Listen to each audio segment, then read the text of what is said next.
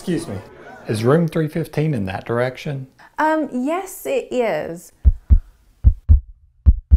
Oh, wow. You have like amazing veins. Check these out, Nurse Tara. Oh, wow. Yeah, I could easily get a 14 gauge in that one. Mind if I try? No, I'm good. What do you think, Nurse Farah? Those are the juiciest veins I have seen this whole 12 hour shift. Do you mind if I palpate one? I think I better go.